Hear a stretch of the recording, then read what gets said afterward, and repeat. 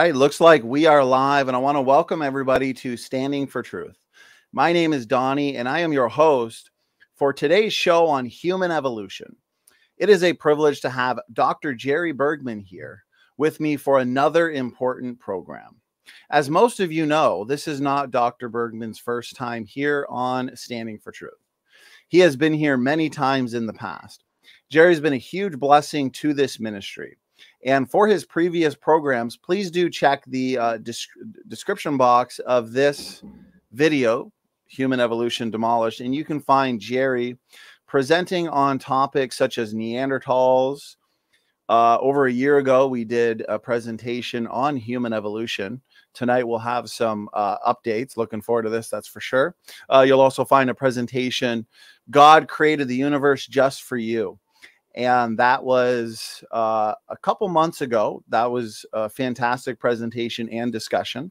Uh, you'll also find a show on C.S. Lewis, anti evolutionist, as well as uh, evolutionary blunders and more. And so, before I hand it over to my guest, Jerry, I'd like to give him a proper introduction. Dr. Jerry Bergman has taught biology, genetics, chemistry, biochemistry, anthropology, geology, and microbiology for over 40 years at several colleges and universities, including Bowling Green State University, Medical College of Ohio, where he was a research associate in experimental pathology, and the University of Toledo. He is a graduate of the Medical College of Ohio, Wayne State University in Detroit, the University of Toledo, and Bowling Green State University. He has over 1,300 publications in 12 languages and 40 books and monographs. I uh, have several of uh, Dr. Bergman's books. I highly recommend them all. And his books and textbooks that include chapters that he authored are in over 1,800 college libraries in 27 countries. So far, over uh, 80,000 copies of the 60 books and monographs that he has authored or co authored are in print. Dr. Bergman, you're more than qualified to discuss these topics. It's always a pleasure and a blessing, my brother. Uh, before we get into uh, your presentation tonight, uh, how have you been, Jerry? Uh, busy. I've had quite a few things. Been doing a lot of speaking have a number of writing assignments that I've had to deal with. So uh, you get some good reviewers and they find some errors in your writing, which is good. Rather mm-hmm. have friends find them than other people. And uh, and I have to do some uh, revisions. Often it's explaining things in more detail. My reviewers say, look, these people don't have a PhD in microbiology. You got to explain this better. You have to go over this section here in more detail, give more background. So, in working with this, I find it very rewarding. I used to spend a lot of time reading, and now I have to spend more time writing because I don't have time to read. Of course, I've done mm. so much reading in my past. Usually, I can uh, deal with a writing issue because it's I've got ideas and and uh, books that I've read that I can at least easily refer to. Well, I appreciate that in- introduction, uh, Jerry. Endless projects to to keep you busy. Uh, again, I've got several of, of your books, uh, including a few behind me and your uh, newest one as well. So I do highly recommend them to all of our, our viewers. If they want to see more uh, from you, Jerry, in the description box, I do have relevant links to your website. I am always keeping up on uh, up to date on your material that you're putting out, and so I know you've put out uh, several articles since the last time you've been here, including articles I believe, on AIG, possibly CMI. So, Jerry, I appreciate all the work you're doing. And I think we're just going to get right into this. A lot of people looking forward to uh, you presenting on this topic, Jerry. So, whenever you're ready, I will put your slideshow up on the screen as you're presenting. Okay. Take your time, Dr. Bergman, to the audience. We will be doing a, an audience Q&A after Jerry's presentation. So if you do have a question on the topic of human evolution or creation, anything on the origins debate, make sure to tag me either at Donny or at Standing for Truth, and we will have a, a fun Q&A. Jerry, I'll recommend before you start, you'll notice at the bottom there, it says hide. W what that does, if you click the hide, it'll just remove that bar from the screen, and then that way the, there won't be. If you go back to your PowerPoint, so you you were in the right. If you go back to the PowerPoint that you're at, Okay.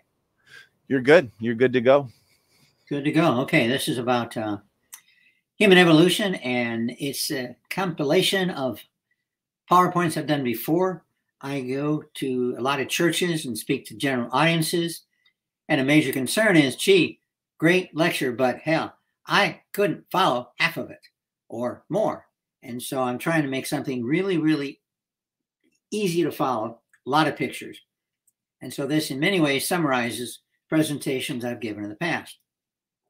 One concern is is that the books here written by evolutionists are really expensive, and I'm not sure why they. Well, they, I guess they're trying to cover the cost. But this book alone, which I was wanted to refer to, but its cheapest I found was two hundred and ninety-eight dollars and ninety-nine cents. And so I thought, well, I'll pass that one up, but I wanted to look at it, but I didn't. Uh, King James Version says, So God created man in his own image. In the image of God created he him. Male and female created he them. And Adam called his wife's name Eve because she was the mother of all living. So biblically, we are all descendants, children of Adam and Eve.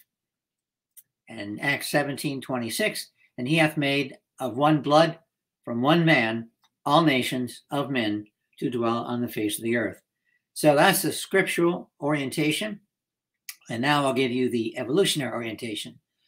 What most people are concerned with, just about everybody, is evolution of man, not evolution of insects in this case. But interestingly, you can see looking at this chart here, you can see that uh, instead of dotted lines, they have lines down here. And this shows you, if you can see this, my cursor on the screen, this shows the beginning of the evidence for this family and the theoretical connecting points. But all the connecting points are theoretical. The same thing is true with humans, except there is no connecting points that they have been able to determine with uh, 100% certainty. So I'm focusing on human evolution. Adam and Eve there are in the Garden of Eden. And gross morphology differences. Obviously, there's enormous amount of differences between a man, in this case, and the chimp, which is theoretically our most common ancestor. Actually, common ancestor of chimps and humans is a animal which was very much like a chimp, but we don't have that animal yet, but that's what the theory says. So in essence, we evolved from chimp, some chimp-like animal. Profile, same thing, huge differences. Facial differences are enormous. And of course, morphology is external. And of course, we'll look at the internal, the genetic differences as well in a few minutes. But when you look at this young lady and this chimp, huge differences. And some people say, well, this is a blonde hair, well, not quite blonde, but blue eyed young lady. How about dark hair and dark eyes? Well, still a huge difference. And others, I've given this many times, by the way. I've done presentations in over 600 churches and this one I probably presented, oh, 15 or 20 times. So someone said, well, what about an African American? So I got a darker woman, and there we go. Still enormous differences between chimps and, in this case, a human. Now, there are examples that they use. This example, though, is a called a microphallic. That's wrong. It's micro microcephalic. Microcephalicism is where the brain does not develop. And so the facial deformity is obvious in this case, but this is not a normal person. This is a person suffering from microcephalic uh, disease. And it could be mutation, it could be due to mutations uh, or other factors. And again, we see the same thing. And this person is fully human, but he has a less developed brain. And so when we have enough cases of people to look at, we every now and then find some that are morphologically similar, but still, obviously, you would see this with a glance as a human and not as a missing link. Eyes, enormous differences. You'll see the whites of the eyes in the girl up at the top, and the uh, brown eyes, the black and, and brown actually, for the chimp. So even in the eyes, we see tremendous differences. The skull obviously is one of the best examples, and we can see a human on uh, my left side and on the other side a chimpanzee. And this design, by the way, has to be this way because the flat face of humans is required to allow humans to speak. Chimps could not speak even if they had some of the organs that we have, which allows us to speak, because they don't have the oral cavity that humans have, which is required to be able to speak. And then x-rays, you get the same thing, same differences, which are very dramatic. And again, we get a few humans that have some slight characteristics, but nonetheless, they are still humans. Brain size, a major difference. For the chimps, the brain is much smaller. For humans, the brain is two to three times as large as that found in a chimp. Human brain, 1378 grams. Chimp brain, in this case, about 399 grams. So you can see enormous difference in brain size. Speech is a major difference between humans and all uh, animals, actually. Humans are the only creatures that can speak. Speak referring to a language that communicates ideas, thoughts, words, and so on in a complex way, allowing speech and writing. Speech can, of course, copy or utilize words that are written down. And when we look at the speech area of a chimp and a human, we can see these differences are enormous, and these differences are all required to allow humans to speak. And then when we look at the air path passageway for food, and this is at the root of choking in humans, and people say, well, maybe we should have three different openings which are separate and not connected, as in this case they are. But on the other hand, this system, this design is necessary for us to be able to speak. One evolutionist wrote a chapter on this and said that humans have a problem with choking occasionally because of the similar route. You can see the connection there, the, the black line. The similar route that food and air goes into separated in this area right here. And this allows for choking. But they admit if this design was carried out the way they're suggesting, we wouldn't have to worry about choking. We just wouldn't be able to speak. And so this design is necessary, even though occasionally people do choke, and occasionally that's true, people do, do die because of choking. But most choking, by the way, is due to uh, swallowing you should be, I should say, talking when you should not be swallowing. And so there are reasons uh, drunkenness, drinking, really young children, uh, people who are not in full command of their faculties. So the vast majority can of us can swallow what 300 million times in our lifetime, and the chances of choking are close to zero. Skeleton, again, we see enormous differences between chimps and humans.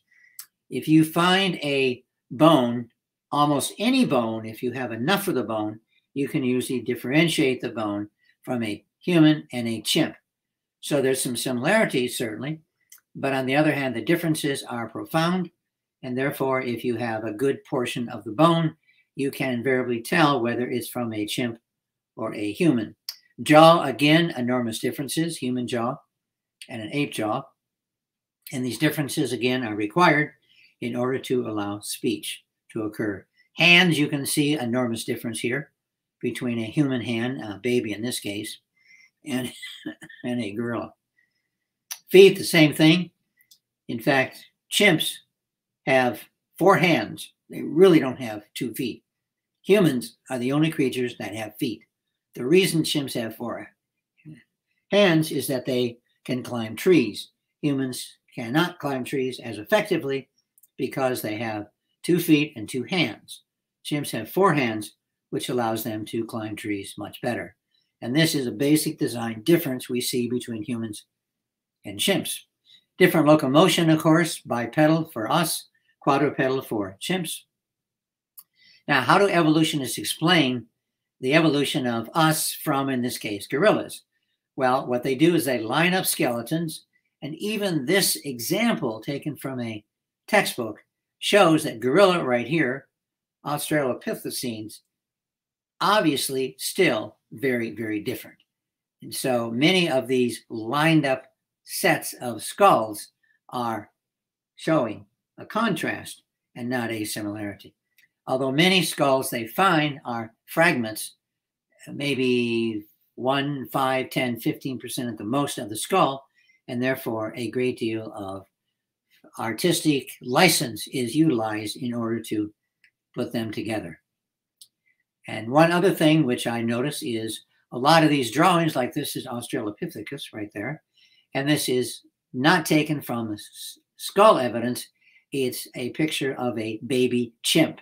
And I happen to have seen that picture in an old textbook, which is clearly labeled a baby chimp. And they've used that in textbooks for decades to show the primitive humans what we look like. Well, even this is a modern chimp, which I located, and you can still see some similarities. It's not as good as this other one, which was a drawing, by the way, in the original book. So you can still see some similarities between a baby chimp and humans.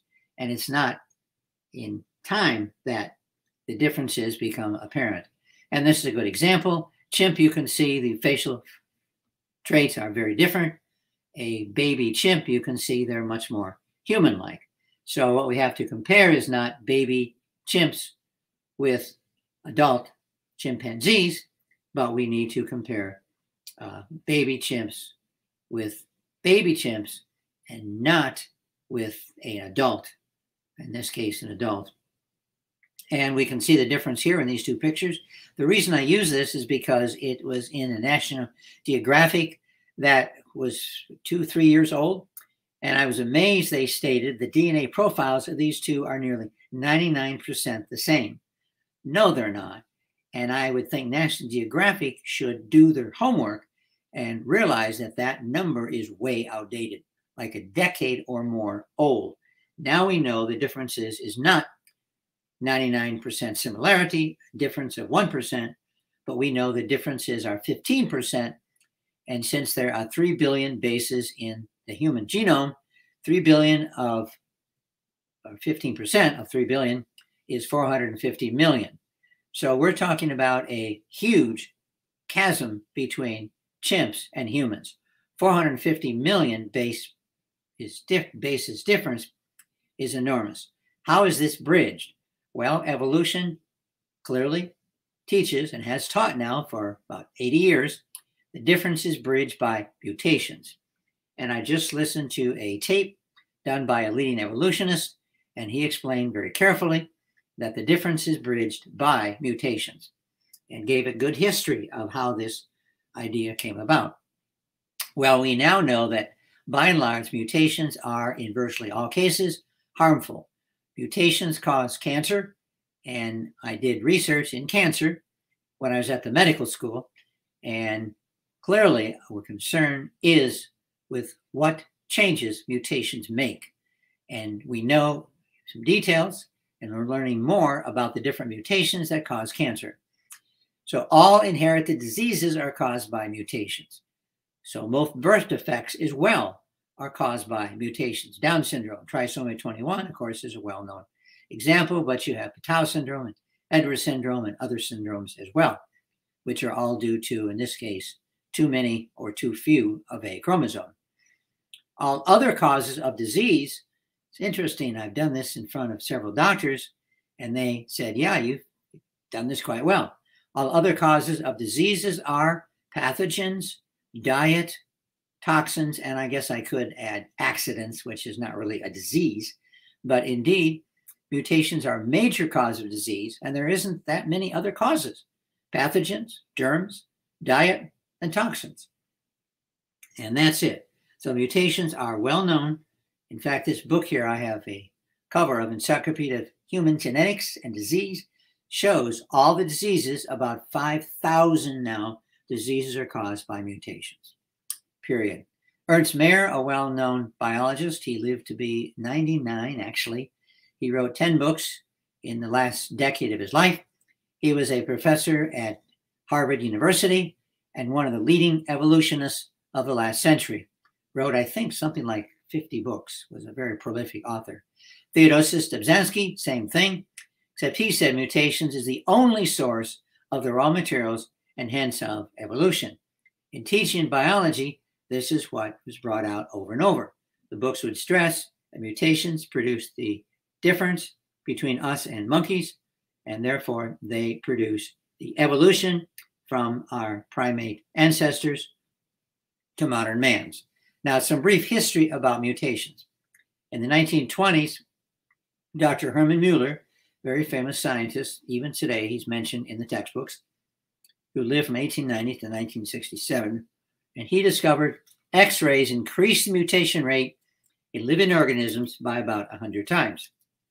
And he used fruit flies and X-ray technology. And so he reasoned you could speed up evolution by causing mutations. And now we know today, of course, that you're not speeding up evolution, you're speeding up disease. But on the other hand, back then when he discovered this, he and other scientists basically said, aha, now we have the key to how evolution works. In fact, they stressed, we can speed up evolution. And this is an article in Scientific American, which basically points out that now we've discovered a way of speeding up evolution, and we now know how evolution occurred. It occurred by the production of mutations.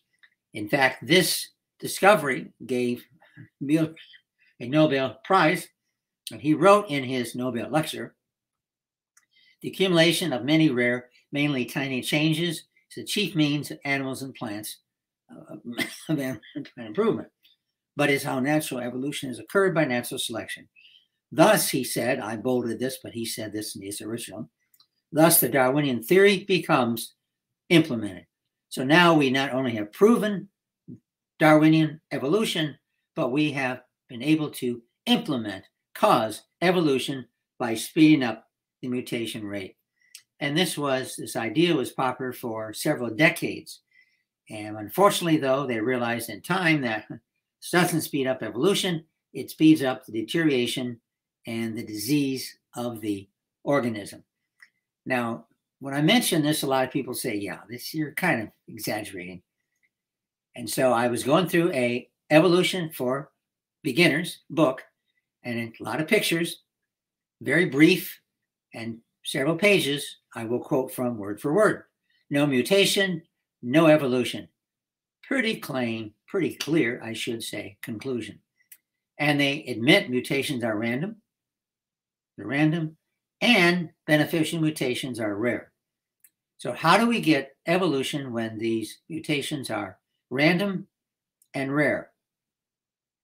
Well, the problem is, is that 99.99% are damaging or close to damaging. They don't cause damage by themselves, but they add up and then they cause problems. So beneficial mutations, they admit, are rare. Less than one out of a thousand are beneficial, and these typically are beneficial by breaking a gene, allowing something to come out. It's like colors are made by putting together different colors and you get various new shades, etc. So if you break the source of one additive color, you change the color. And many mutations change the color of animals by breaking a gene which produces part of the color. And when that gene is broken, that part is not produced. And therefore, the color from the other gene that's still there is shown.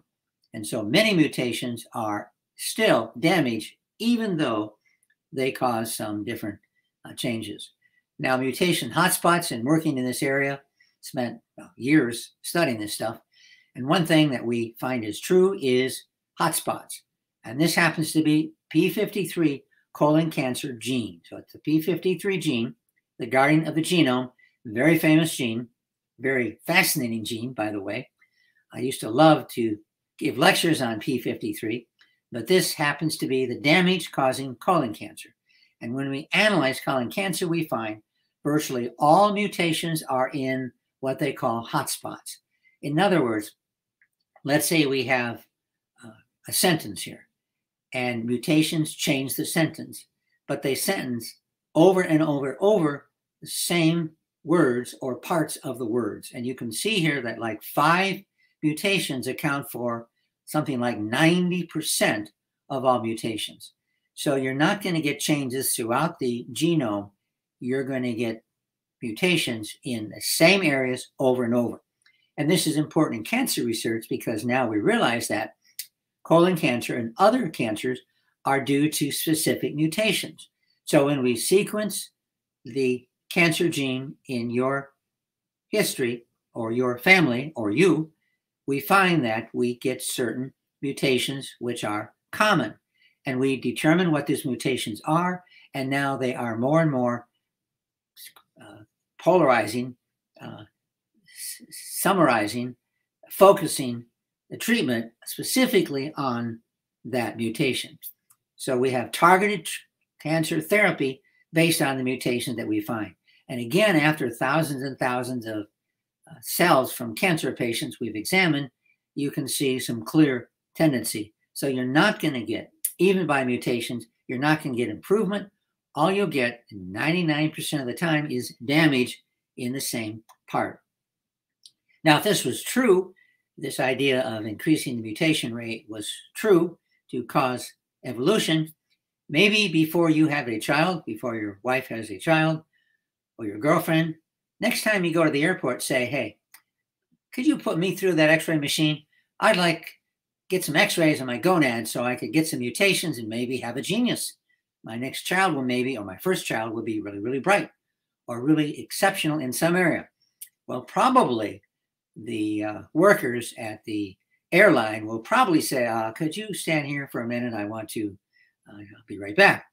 And they would chauffeur back two men, big men in white coats, and take you away because obviously they think you must be crazy to assume that mutations can in any way, shape, or form help your gonads and thus help your sperm and eggs and cause you to produce a superior child. It's not going to happen. Although x-rays are very useful, this is one that they x-rayed a luggage and they found a gun in the luggage. So that works out quite well. So mutating people, not so well. Now, one thing that I have many PowerPoints, I stress this because uh, this is one of the major uh, errors of evolution. And there's many slides. In fact, I have hundreds of slides that illustrate the same thing, but I'll just show you one. This is where they're able to schematize our genealogy. We evolved way back from lemurs, then New World monkeys, then Old World monkeys and gibbons, Siamangs, orangutans, chimpanzees, gorillas, Negroes, Negroids, Australoids, Mongoloids, and Europeans. And this is really appallingly racist. And therefore, they did, and I have lots of pictures of this, but this is a quick way of going through it. They claim that the best evidence for evolution was inferior races like Negroes. Now, I don't know what Negroids are. It must be some category which I'm not familiar with, but Australoids, of course, Australian Aborigines, and Mongoloids would be uh, Oriental, Chinese, Japanese, and so on. And so you can see how incredibly racist evolution was. And just a couple of pictures which show this. This right here is from a German textbook. The same thing is printed in the English edition, but I didn't happen to have a copy. And these are chimps, the German word for chimps, gorillas, orangutans, and N E G E R. And so no words, just this picture. When people look at this, it's pretty obvious what they conclude. Pretty obvious that this race of people, which we know is not inferior in any way, well, we're all descendants of Adam and Eve. So these people are all our brothers, brothers and sisters. And so, therefore, this racist picture is one of many which I have. And then you can see uh, chimps here and a young chimpanzee right here, and then a Negro, and then a, uh, this is actually Apollo. This is a Roman statue, and you can see the skull. And so they're showing evolution by the same same means, from a gorilla to a, a Negro to a evidently a white man. Very racist. In U.S. textbooks, the many surveys by 1928, 375 U.S. colleges were teaching eugenics. 70% of high school biology textbooks endorse eugenics. Now, the reason I bring this up is because the evidence against evolution, as I briefly said, is absolutely overwhelming. But why do people believe in evolution? Why is it so widely believed? Something like 99.9% of all scientists accept evolution. And before Darwin, 99.9% of all naturalists were creationists. After Darwin, 99.99%, and you can quibble about these numbers, uh, the, the vast majority of scientists are evolutionists. So why did this change? This changed because of indoctrination in our schools. And these are a few examples. Uh, courts have ruled, and this is another problem. I've researched over 200 cases, and I found they've ruled consistently in all cases. And they've ruled that public school teachers must teach evolution as prescribed by the curriculum, meaning they must teach evolution as fact. And therefore, you're not going to get the information I'm going through now in most high schools. Hopefully, a Christian school, you will get this information, but the vast majority of high schools, even today, and back 10, 20, 30, 40, 50 years ago, the same thing was by and large true. So students learn one side, they're not introduced to the problem of mutation, the fossil record, etc., and the difference between us and chimps. Therefore, they accept evolution is true because they simply haven't heard the other side, because courts have said you can't teach the other side. Now, what about Christian colleges? Well, I went to the University of Notre Dame not too long ago. And curious, I went to the library and in the bookstore, and guess what I found? In the bookstore, every book was either clearly in support of evolution or anti creation or anti intelligent design. So if you went to the bookstore in Notre Dame and wanted a book in favor of creation or intelligent design, you wouldn't find it. All the books there were opposed to creation and intelligent design. The same thing was largely true, although not 100% true, in the library. How about Wheaton College, one of the most well known Protestant colleges in the United States, in Wheaton, Illinois, who I've been there. I've been there several times giving presentations with the American Scientific Affiliation. And in Wheaton College, they do teach evolution tactfully, I should stress, but they teach evolution as fact. And therefore, even if you went to Wheaton College, you would be exposed largely or totally only to evolution. Now, I got, a, got an email recently, and the email basically wanted money, and they gave me a pitch, which basically they said that every developing mind wrestles with the mystery of how we became who we are. Before Darwin, the only sensible answer was that we were designed by a supernatural creator. Now we know, they continue to say, now we know we evolved from more primitive life forms. But this complicated idea is not self evident.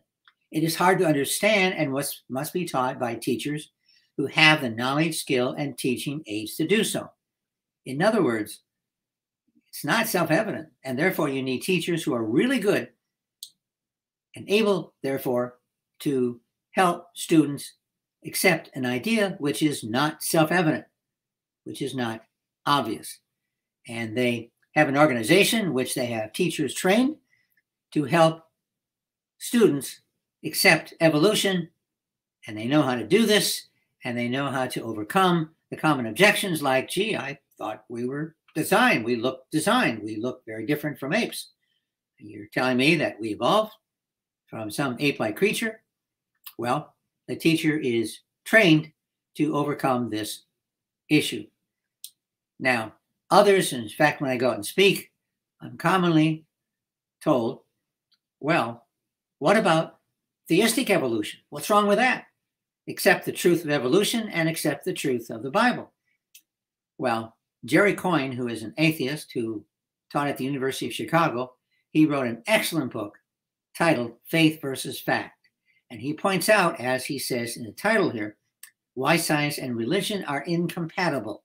And he does a good job showing very well if you accept evolution, you cannot accept creation if a page is white, you cannot argue that page is black. They are irreconcilable. They are answering the same questions by different ways. And then a book by Norman Geisler, who I had the pleasure of, he did one of the introductions for one of my books, but he said, I don't have enough faith to be an atheist. I don't either. I can't see how people can uh, believe, which is taught in the schools, which my textbooks that I use taught, that we are the result of the accumulation of billions of mistakes. Just doesn't make sense. just not true. By billions of mistakes, we're not going to get better people. We're going to get a lot of problematic people, a lot of sick people, a lot of mutants, which are in the vast, vast majority of cases, not good. So evolution is faith based on belief, and I just don't have enough faith eh, to accept that. Now, what do different religious groups believe? Well, this is a chart which I show in several of my presentations, and it shows basically that the shorter the lines are, the more people believe in, in these groups, believe in creation. And the line is shortest and they're different colors, so you can separate the two. That those people who are Jehovah's Witnesses, ironically, have the fewest number of people who accept evolution and the greatest number of people, percentage wise, that accept creation. The Mormons are next, evangelical Protestants are next, but even the evangelical Protestants, a fairly significant number, uh, accept evolution. Most of the churches I speak in are evangelical Protestant or historical Black Protestant. So the number there is greater. Muslims, which surprises me, are even greater. Mainline Protestant, over half accept evolution. Orthodox, even more. Catholic, even more. And I'll mention why in a minute. Unaffiliated, even more, etc. Result of that's pretty obvious. This is a front page from the Bryan Times, which is the newspaper that is published in my area. And uh, they had a poll, and they, they mentioned the front page of this paper less than half of Americans now are members of houses of worship. And I'm not sure whether they were celebrating this.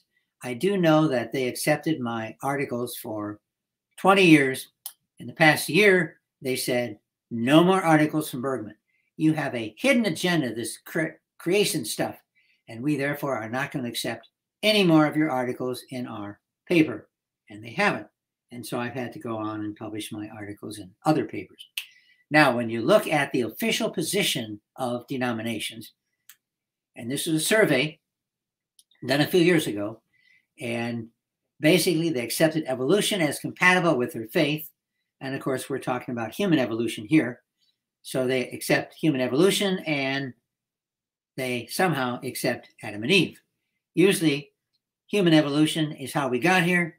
And then when we were evolving, God said, Hey, I like that evolution going on, and I'm going to put a soul in him, and then he will be a human being.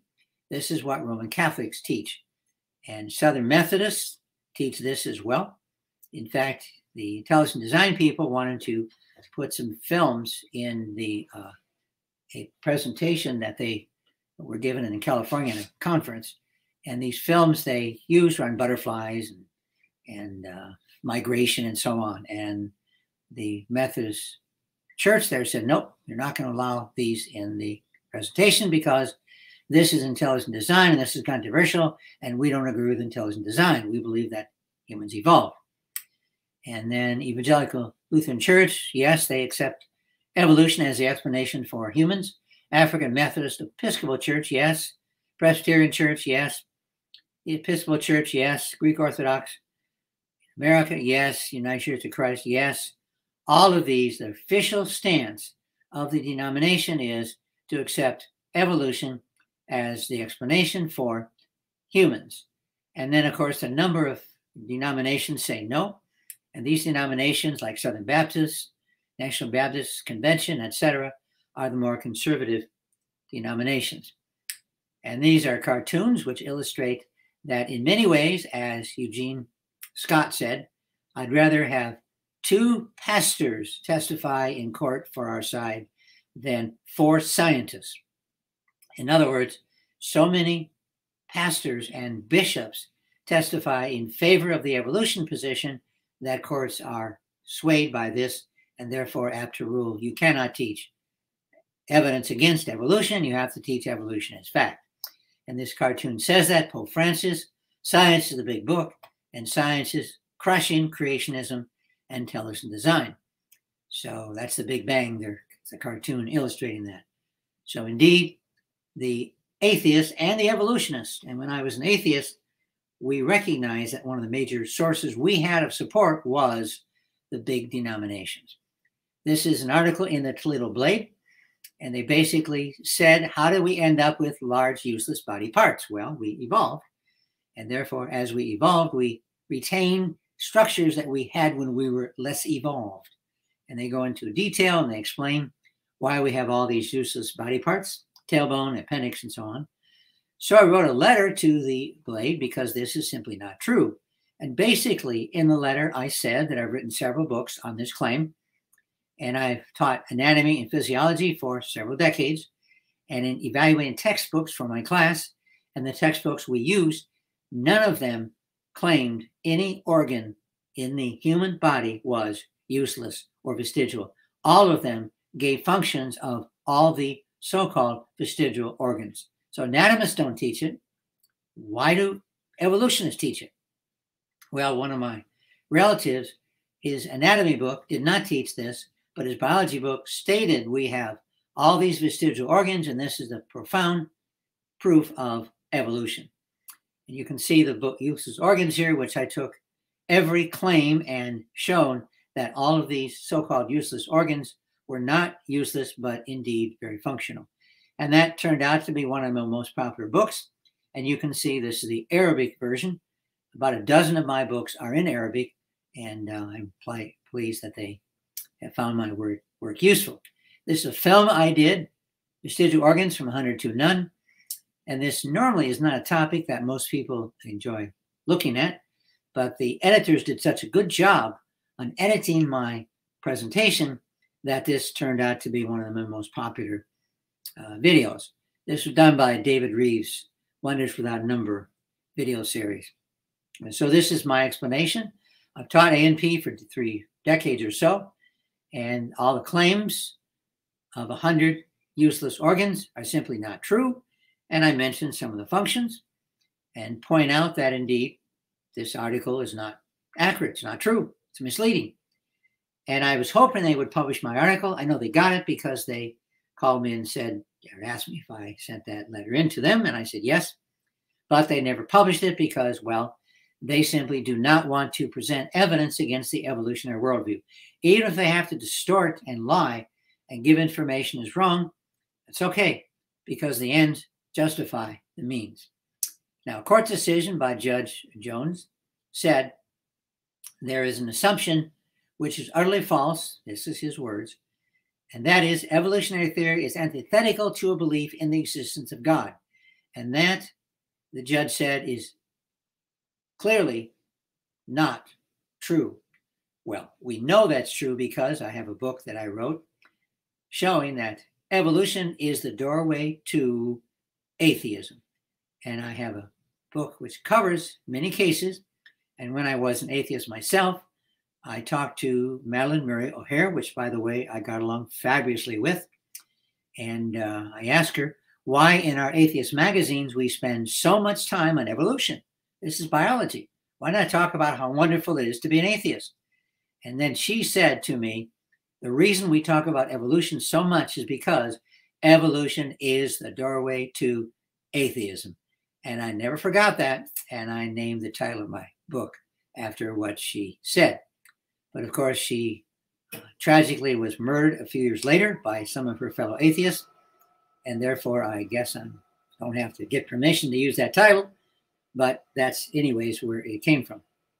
So clearly, that Darwin's theory was developed specifically to murder God. Why do people believe in God? They believe in God because, well, the evidence of their senses, the, the creation, beauty of body of animals and plants and life. And how do you murder God? You do that by coming up with another explanation for the existence of life. And that other explanation was evolution. And his purpose was, in his words, it's like committing a murder.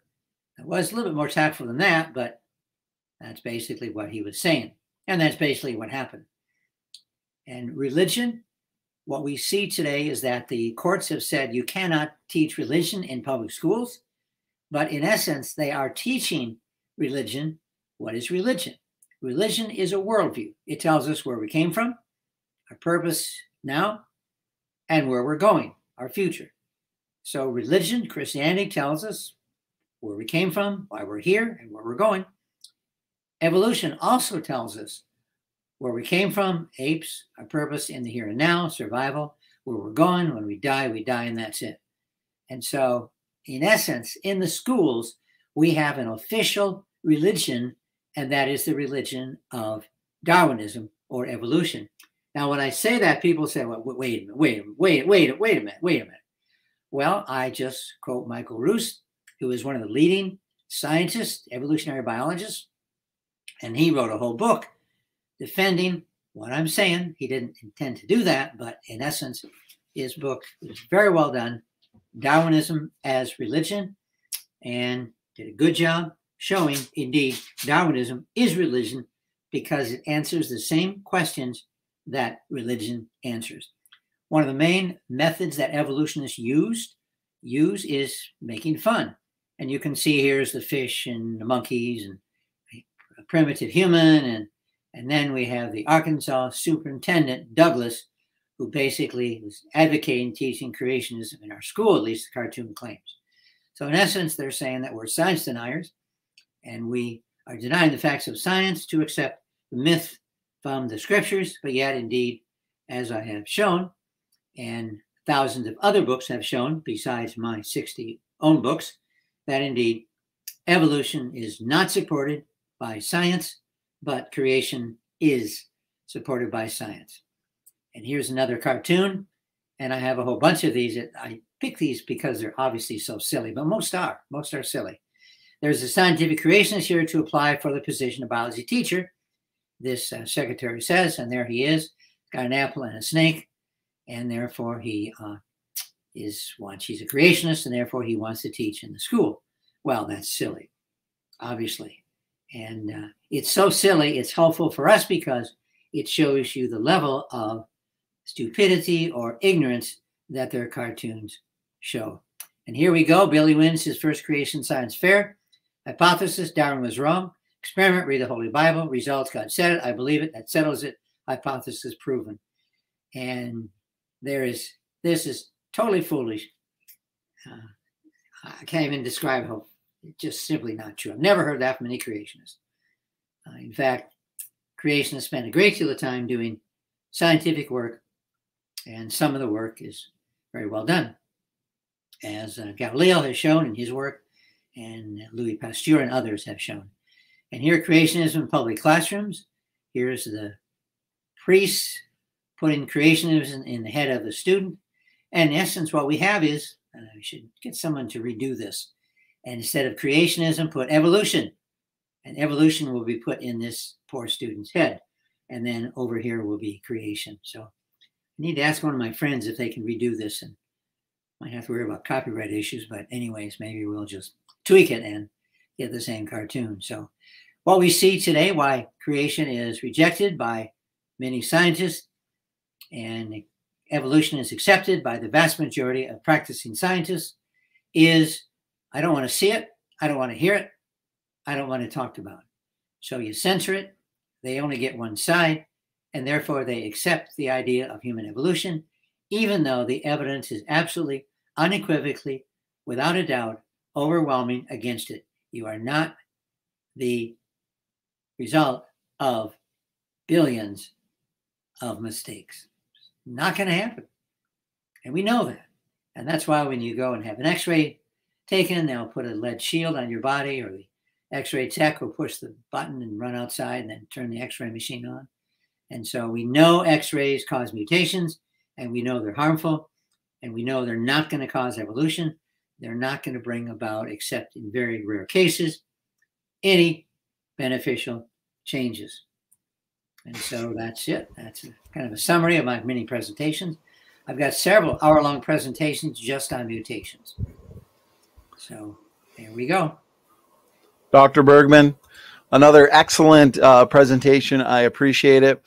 And this presentation really complements your previous now you've done many presentations with us but you've done also two one on neanderthals and uh, a general presentation on human evolution and so this presentation complements those well and and therefore i appreciate it now one thing i'll say i got a lot of questions here for you as usual we have a very uh, in, engaged live chat i've also got questions of my own but one thing that i wanted to mention before we get into the questions jerry is you talked about the what I call the superhero protein, the P53.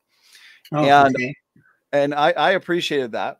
I've done a lot of research on that as well. I've written a book specifically uh, on endogenous retroviruses oh. and how they are not evidence for evolution. And I discovered that um, cancer researchers they're actually working on drugs that will stimulate this P53 activity and the transcription of ERVs as anti cancer therapy. And so these ERV elements that evolutionists uh, look to as evidence for human evolution, they're actually playing a, a functional role in tumor suppression through viral mimicry. And, and so basically, when the cell is under stress, these transcribed ERV elements, they give the cell the appearance of being invaded by a viral infection, right? And as a result, this targets the cell more destruction by the immune system.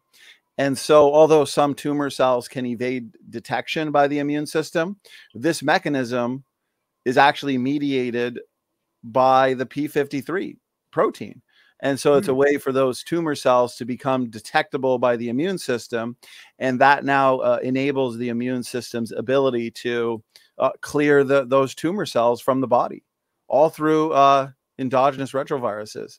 Are you familiar with that at all, Jerry? And, and Somewhat. I'm about a decade behind, but I know over half, about 58, 60% of all cancers, the P53 is damaged.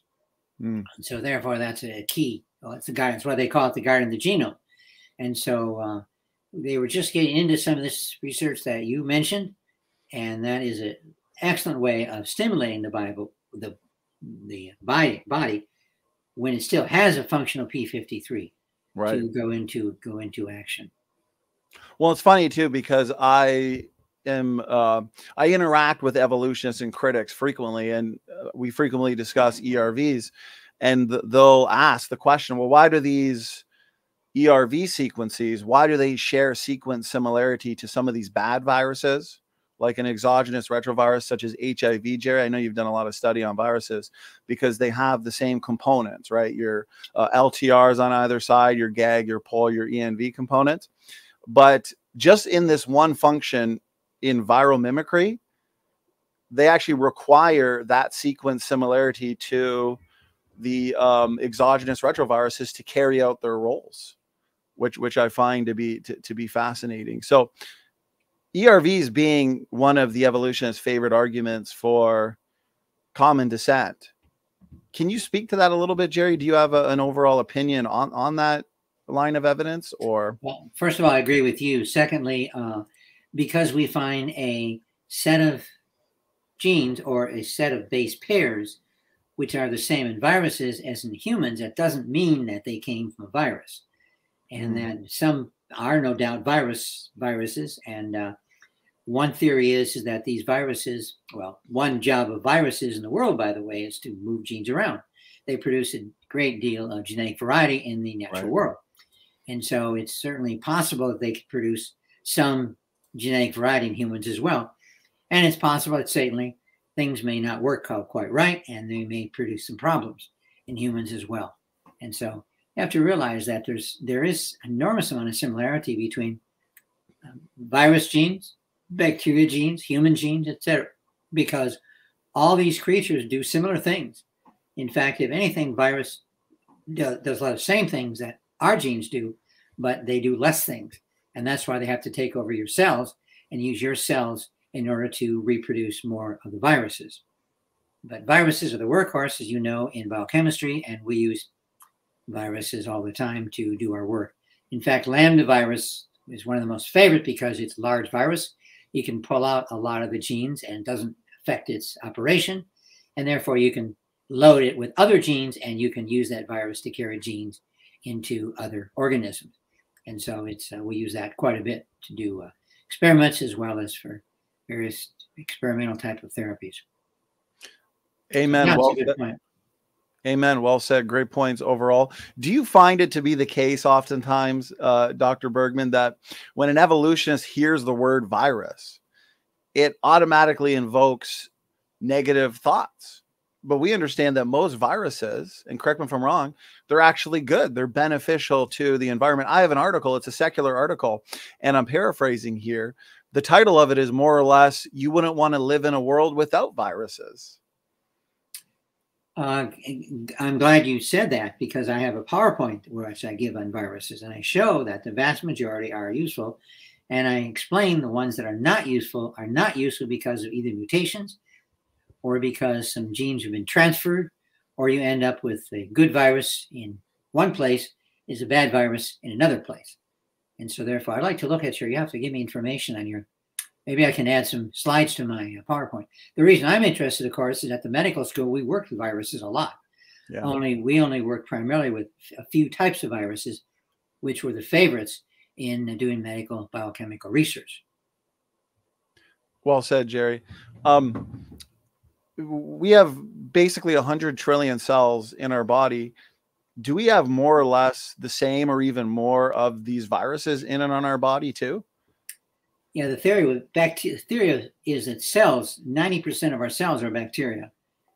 And mm. uh, so you take the total number and you got 90% are bacteria and the 10% is you. And the same thing more and more is true with viruses.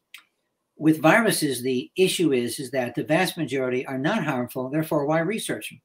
I'm collecting money to do research. And I say, well, people want research in this area. Well, what, what for?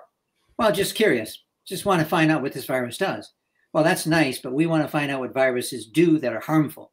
And so, therefore, the vast majority of money is given to researchers who are researching viruses that are harmful and not those that are beneficial.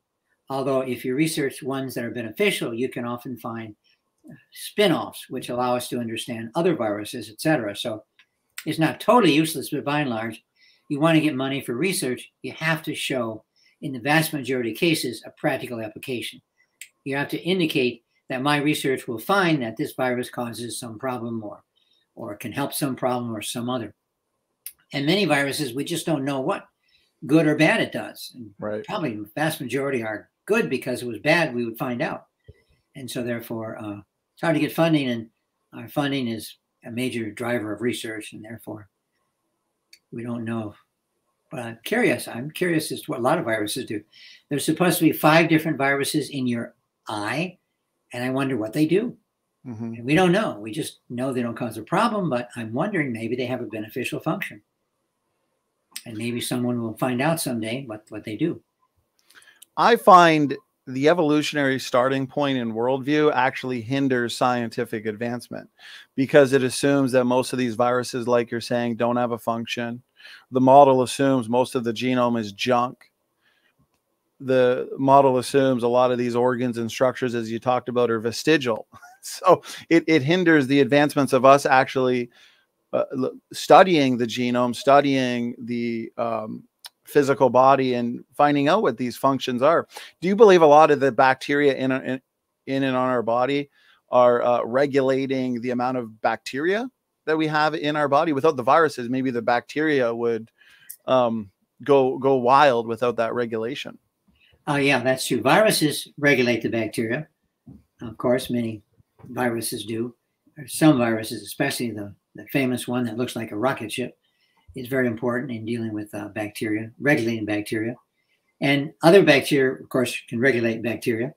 And again, the vast majority of bacteria, 99.99%, are beneficial. And that's why they're called probiotics. And of course, that's why we right. ingest foods that are heavy in bacteria, like yogurt, cottage cheese, and different foods, because those bacteria are necessary for good health. Well, and, and, I was a nurse for six years, so that's how I became fascinated with topics like this. Is just working in the medical field, like like you, Doctor Bergman, and as a nurse, we would oftentimes tell our patients after they're done taking their round of antibiotics, make sure you take a round of probiotics because the antibiotics are killing your bad bacteria and your good bacteria, but your probiotics are going to replenish the good bacteria. And so evolutionists that think, oh, bacteria must be bad.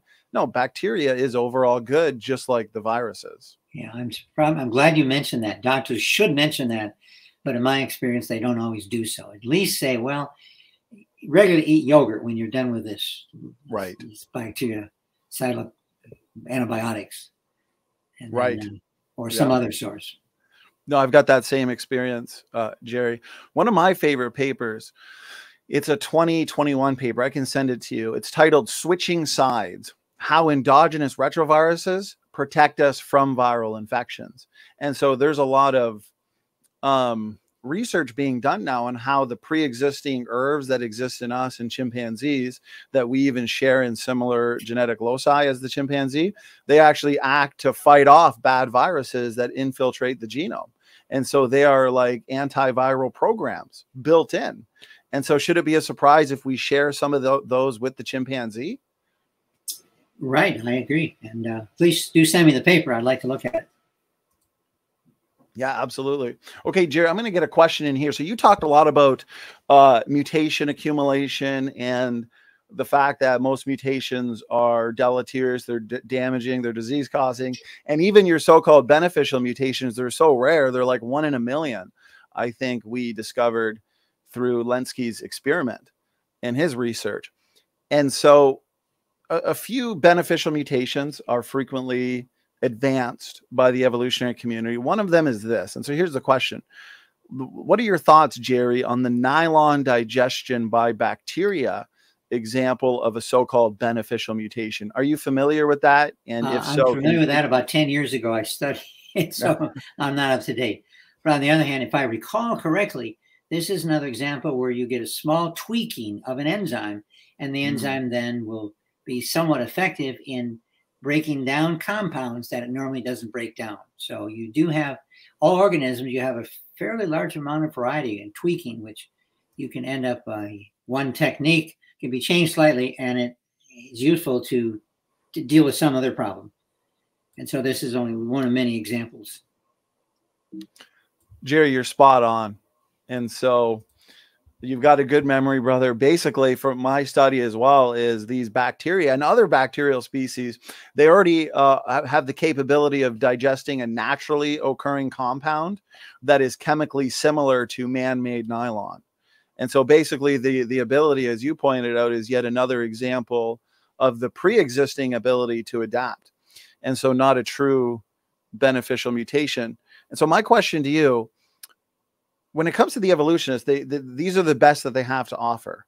Can these kinds of beneficial mutations ever actually counterbalance the damage being done by the many thousands of deleterious mutations accumulating in genomes? Of course, unfortunately, not. Although a lot of times we call these mutations, but there's a system built in where you have some flexibility. And that's why you have what seems to be a mutation. It may be a mutation, which allows an organism to do something else that it couldn't do before. So all organisms, of course, the best example, horses, cats, dogs, you have an enormous amount of genetic variety. Probably on the ark, you'd had horse family, one, two horses, dog family, cat family, and from these three different families, and there are many others, of course, we ended up with 500 and some different breeds of dogs, end up with almost 300 different breeds of cats. And I just watched a film, a nature film on cats, and it brought out that there are enormous variety of cats can live just about everywhere on the earth. They can live in North Pole, the South Pole, the equator, uh, very wet areas, very dry areas, mountainous areas, and so on. And it brought out that all of these cats evolved from, and they use the word evolved, of course, we would say they all came from because of the inbuilt variety in the original cat kind. And we see this is true with so many animals, but many animals, it's not true and therefore we we tend to with many animals we tend to have one kind or two or three kinds and that's it. Horses cats dogs are exceptional in that you have an enormous amount of variety in all these which uh, allows us to do what we do with them. The dogs that can do perform many roles the horses that can perform many roles many sizes. Uh, our dog is eight pounds. We have a our daughter's dog is 180 pounds, close to. It's huge, and so you see that variety is enormous in certain animals. But they're built in with the ability to be to produce that variety. And my guess is we'll probably, when we're done, we'll probably get because we have a off breed. We have a mixture of two different breeds, and so we have a different, a totally new breed. So I wouldn't be surprised if we ended up with a thousand different breeds of dogs. Right. Well, in in the from the biblical starting point, God said to be fruitful and multiply, and so it wouldn't make any sense if God did not create, as you're saying, organisms, including humans, with pre-existing genetic variation, or as some creationists call it, the design diversity hypothesis, because if God created uh, the original kinds, let's say the dog kind, the cat kind, as with homozygous genetic spots with no genetic variation, we'd basically be uh, producing clones. And so it makes yeah. sense to have that pre-existing variety built in. And doesn't that counter then, Jerry, one of the uh, evolutionists, the old Earth creationists, they like to say, oh, creationists have to explain all these varieties, all these different species in just 4,500 years since the flood. But if that genetic variations built in or front loaded, these new varieties can come about quickly in a post flood world. Isn't that right? Yeah, they say the difference between jo- dogs is primarily nine different genes. So you take the mm-hmm. wolf kind and you compare that with all the other dogs roaming around the earth today, and you find essentially nine different genes can account for most of that difference. And if you think about it, nine different genes, you have combinations. You have mm. 81 different, nine times nine, of course, is 81. Plus, these genes interact. They can set, they can increase effect of one gene, they can decrease the effect of other genes. And so, in nine genetic differences, and there may be more, but this is the current estimate. With these nine genes, we get, as we see today, enormous amount of variety with dogs and and with other animals. Same thing is true with horses and uh, cats. That's an excellent point. So the evolutionists, the evolutionary model would suggest that these genes and all of these DNA differences that separate different kinds of creatures, they came about ultimately through mutations. But you're saying that a lot of these genes or DNA differences came about through creation. And so just through recombination in a single generation, you, you shuffle those pre-existing genes up, like you said, you get new variety. It's built in. Exactly. Yeah, exactly. Because and that's true with people. It said that there's no people, no two people in the entire earth that are identical in every way. Right. And that's how they can use facial recognition, which hopefully they can be pretty accurate in that, but they can more and more recognize people by their facial differences. So even though there's a small number of genes that produce facial traits, nonetheless, there's enough variety where pretty rare to find someone that looks even highly similar to you, let alone exactly like you. well, and that, that's a great point. Here's a critic in the chat. Appreciate our skeptics. Um, Lorraine Drosophila is asking in response to what we're saying, why would a perfect being need to introduce imperfect variation? But my initial thoughts, and then uh, Jerry, get your thoughts, is I feel like the evolutionist is making that argument, assuming that this variation was built up through deleterious mutations over time. This this pre-existing variation was not built up through mutations. It is it's created, it's designed to result in in variation through processes like recombination, gene conversion. What are your thoughts, Jerry? Well, you do have a number of cases of mutations, like calico cats is a famous example right. used in genetics, where you have a mutation in which the colors are affected by the temperature and therefore the temperature of the extremities like the limbs and the tail and so on are different than the rest of the cat because of this calico cat genetic mutation. And the best example I think is a hairless cat. This is clearly a mutation, clearly doesn't have any hair, and I think they're ugly, but there are people I know who really think hairless cats are just beautiful. Now, I think there's something wrong with them, but on the other hand, there are people out there who like the hairless cat and they there's a certain market for that cat. Yet it's clearly a mutation. It damages something, namely the production of all hair. And as a result, not only they have no hair, but they have no eyebrows. They have no the uh, whiskers in front that helps them work their way through small areas. Those are gone. They have totally no hairs whatsoever. Clearly mutation, no doubt. But on the other hand, some people and some environments may find that beneficial. So you can lose structures, and yet that can turn out to be a benefit in certain situations. Right. And so a lot of these artificially produced dogs, like domestic dogs, which you have a lot of experience with, Jerry, the uh, features, the morphological traits that we see in, let's say, pugs or um, chihuahuas are basically due to degeneration and a reduction in allelic variability overall? Yeah, a lot of them are. That's true. And again, we may find them useful or desirable for certain reasons. So it may be for us, for a certain person, a beneficial mutation, but by and large, many of these changes are not beneficial for the animal. Certainly, a hairless cat is not beneficial, can't survive right. quite as well in the wild, but in very hot climates, it sometimes can do better depending upon the environment. So there's there is flexibility there, and mutations can be part of that. No one says that no mutations are beneficial.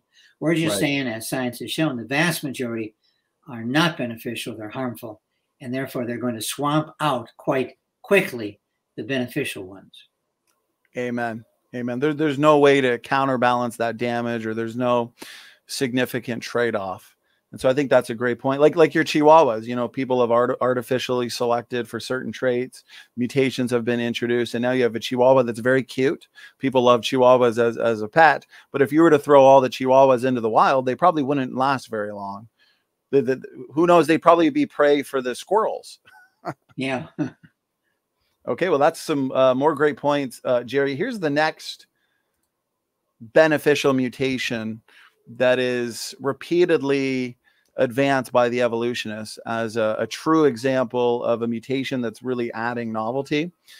And so I wonder if you, you had any thoughts on this. And the question is, Jerry, what are your thoughts on the presumed lactose beneficial mutation?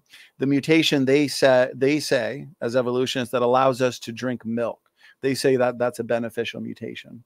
Well, from my understanding, that we all have the ability to drink milk when we are born and for a year or three after that. But mm. some people, the mutation comes along and we become, some people become lactose intolerant, but some people are not lactose intolerant, like I'm not. And that tends to be true in certain ethnic groups. They're lactose intolerant and others are not. And so, therefore, uh, I would say losing the ability to consume milk is a problem. Right. Because especially if you like ice cream and so many milk products, then that's that would be a problem. So I'm not yes. sure how they they they claim that's a beneficial mutation because what happens is is we we lose the ability that's programmed in us to lose the ability to drink milk. That's because by and large, once you're weaned from mother's milk, from in most cultures, there's no need to drink milk. Right. But we like to drink milk because, well, there's chocolate milk and there's ice cream and there's lots of good things that we, yogurt and so on. So there's lots of good things we can make from yogurt. But that's not a major problem because we just uh, swallow the enzyme and then we can drink milk and eat ice cream and so on. And you can just actually swallow the enzyme that breaks down the milk into uh, digestible parts that can be recycled. Right. I think you nailed it. So even that one's mostly reductive and we're mammals. And so we are born, like you said, with with the need to drink and digest milk. I've I've read that in the case of some people, they have a gene that basically stays on permanently.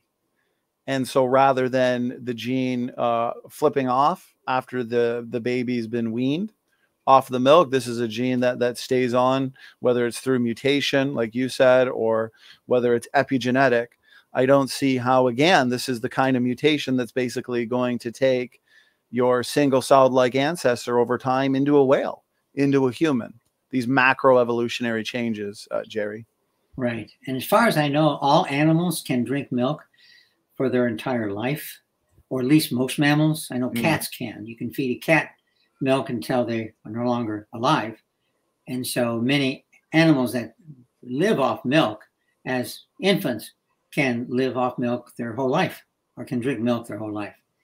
And so, therefore, although I'm not sure that's true with all animals, but true with many animals. Right. Very good. Very good, Jerry. So I know you've done some work on this one. This is another big line of evidence for evolution. When you do, when you look in, like, for example, biologos, you just go to these uh, prominent evolutionist websites and you type in what are the best lines of evidence for evolution.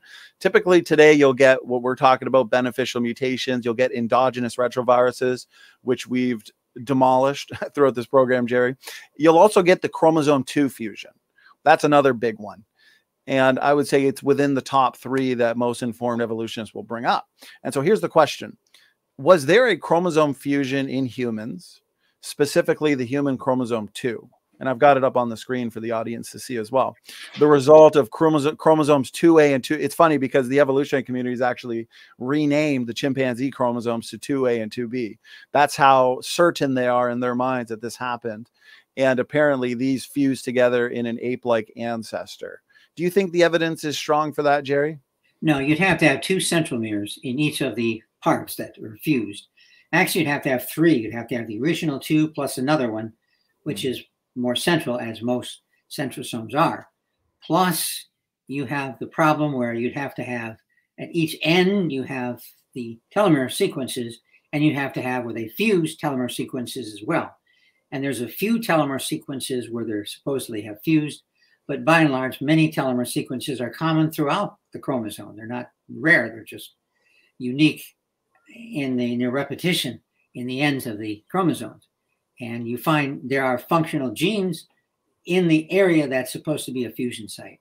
So there are a number of problems with that with that idea. And uh, Jeffrey Tompkins, of course, has done a lot of work on that, and uh, pretty clear that uh, that's not a viable solution. Amen. Great response. I've read your article series with uh, Dr. Tompkins. You both did fantastic uh, research there. And as you pointed out with the so called cryptic centromere, uh, you know, we, we, don't find the signatures for that. The telomeric repeats, as you point out, the TTA, GGG, CCC, TAA, basically the telomeric repeats and forwards and reverse, we find those all throughout the genome as interstitial telomeric repeats. And so, the the two key signatures basically of a fusion they're actually uh, positioned inside two extremely important genes. And so the so-called cryptic centromere that alphoid dna it's overlapped by a functional gene. And then uh, the so-called fusion site the 798 base pairs is also overlapped by a functional gene the ddx11l2 gene so the, the question i have for evolutionists uh, Jerry, if you could speak to it, is how do you get highly functional genes by basically slamming together two chromosomes? I'm not sure how they respond to that. I find they basically ignore what we have to say. Mm. And it seems evolutionists themselves have to discover it, and then it will become mainstream in the evolutionary community but it's like the vestigial organ argument. I have friends that say, You're still writing another book on this. Come on, this has been refuted by you and others half a century ago. Why in the world mm-hmm. are you still writing articles about this vestigial organ claim? I mean, that, evolutionists are way beyond that. Well, they haven't. I have recent books that I just got a couple of weeks ago, which have the vestigial organ argument. So they haven't dumped it. It's still out there. It's in my grandson's textbook. They had the vestigial organ argument. That was a fairly new textbook they're using in high school. And so, unfortunately, why I'm not sure. I think well, Gould was concerned about this, and he said the reason why was because when you write a biology textbook, you base it upon your own textbook you studied in school 20 years earlier. And you may have a specialization in some areas, and you may add some information in your book on those areas. But on the other hand, the fact is is that you're going to reproduce pretty much ideas that others have talked about in other textbooks. And that's why haeckel's embryo those are largely gone but still you'll find books that push haeckel's embryos ideas. The ontogeny recapitulation phylogeny. Right. yeah. And so there are a number of examples they just keep hanging on. And that's vestigial organs is one example. And uh, another example is the the one we're talking about the gene fusion theory. And of course, it goes against what they're trying to push. So therefore, they, they tend to reject what we have to say. And they're not willing to. So many are not willing to look at the evidence, I find evolution. Right. Partially because they tell me with good reason, look, I've got to get grant money. I've got to do my research. I don't have time to read articles on the human chromosome fusion. I need to update my research. I need to hire graduate students. I need to supervise right. their work. I need to publish journal articles. I just I spend 8, 10, 12 hours a day doing what I have to do. I don't have time to. But the consensus is, and therefore they rely upon the consensus and not looking into these issues themselves. Great, thorough response, Jerry. Evolutionary biologists, they're not going to go very far if they admit that their best lines of evidence, like the fusion, vestigial organs, ERVs, they've been overturned and refuted, right? They're not going to get their grant money. They're not going to get to, to do their research uh, projects. And so they just keep repeating these arguments. And the newest argument to the chromosome 2, basically, as a counter to what we're saying, Jerry, and I wonder if you've heard of this, is you're more informed evolutionists, I'll say, like Dr. Ken Miller, who's tried to respond to. looks like we, we got your puppy there. And so just came home and wants wants to know what I'm what's going uh, on. Well, I, I know your dog is a fellow young Earth creationist and likes to get yeah, in on these dogs. So. Introduced him last time. Yeah, he's always welcome, brother.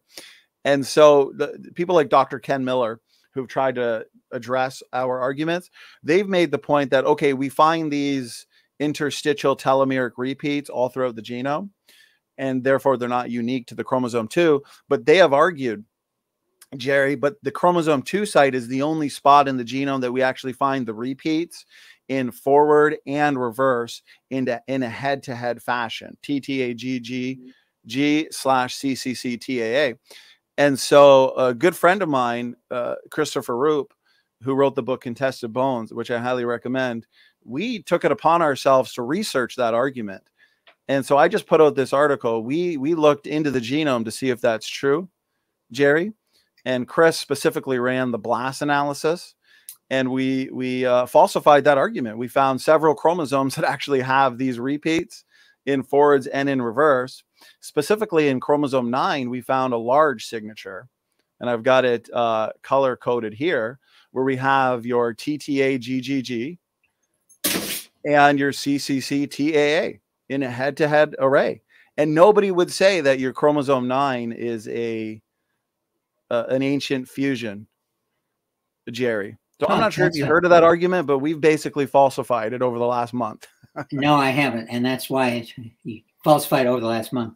It'd be really nice if we could get this information out there in the scientific community because they, I, I would assume, they don't want to keep repeating things that are wrong.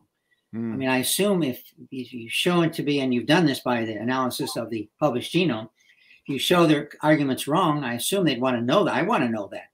That's why my wife wonders why every article critical of what I've done, and there's been quite a few, every article critical of what I've done, I read because they might have a good point. They might be wrong in areas, and but they might be right. And so I want to find out. And the vast majority, 99.9%, are simply wrong in their claims. But on the other hand, hey, that 1%, I'm looking for that 1% because I don't want to repeat things over and over that are simply not true. If right. it's not true, I want to find out. So I stop using it. And this is why this is why peer reviewers are good. I just had an article I sent in, and the peer reviewer found some mistakes I made. And I'm not sure why I made them. There weren't very, I think I was trying to skip some parts of the explanation, but it wasn't clear. And I, I told him when he you know, asked me about the reviewer, I'm glad he found these mistakes because I can correct the article. And now, when it's published, when it's out there, people are not going to find these mistakes and therefore will have less or no basis to criticize my article. And Amen. therefore, uh, I think we need to, I think evolutionists need to look at what we say because we are pointing out things that are that are a concern. But they tend to like Johnson said, they tend to mm-hmm. circle the wagons and fire from the outside and become very defensive. And you can't get into the area there and you cannot give them information. They just, they're not going to hear it. Amen. So well said. That's tragic. But yeah, to me, the research you did is, is uh, clear. And uh, I wonder if somebody who is not connected with our group movement who's a who's a secular who could get that published. I would think that would be a good article to publish in, in any journal. Right. Amen. Yeah. I mean, me and uh, Chris, we we've discussed that because this is data that is like you said it's tragic that because we you know if, if we had to correct something on our side or an argument we've been been using we would be happy to do so. That's how we advance. And so you'd think that they on the secular side would want to do the same thing whether it's vestigial organs the chromosome 2 fusion and so, you know, when the evolutionists first said that, you know, this is the only spot in the genome where we find these repeats and forwards and backwards, I thought that's interesting. I want to look into that and and we found out like a lot of their arguments that just isn't isn't true jerry i i'd like to ask you a question and it's it's a popular one because you did such a fantastic job in your presentation going over the differences between humans and chimpanzees. And so the evolutionists will oftentimes say okay yeah humans and chimpanzees those are extant great apes. But we fill in those gaps in the fossil record and they'll frequently point to as you know uh, lucy or the australopithecines. And so i'm curious what your thoughts on the claim that the australopithecines had a foramen magnum that was positioned more closely to that of modern humans but that they also have the angling that is more similar to that of a chimpanzee and so essentially it's okay, we have a position in terms of the foramen magnum that's like a human, but the angling like the chimpanzee. And so they'll, they'll say this is an example of a transitional feature within the fossil record and also evidence that your australopith your australopith types walked upright yeah my response to that is you're going to find some similarities between apes and us for many reasons and uh, because there's a huge amount of variety in the morphology of humans and apes, and so therefore you're there are what how many uh, primates are there? Probably several hundred, and so out of those several hundred, you're going to find some similarities. That doesn't prove the transition from one to the other, but it proves there are some individuals that have indeed traits in between humans, and not many, but some traits between humans and uh, apes. On the other hand, so many of these skeletons, the skeleton fragments, which I point out in my book, Apes as Ancestors, so many of these are fragments, and you have to assemble the fragments, and that requires a great deal of artistic license. And therefore, it's hard to get all the pieces exactly where they were in the original animal. And it's hard to ensure that indeed you have all these pieces are part of one original animal. They could be parts of several animals or parts as they find parts of an adult and parts of a child. And therefore, you get different parts mixed up that are not all part of the same individual or even the same age of the individual you're concerned with.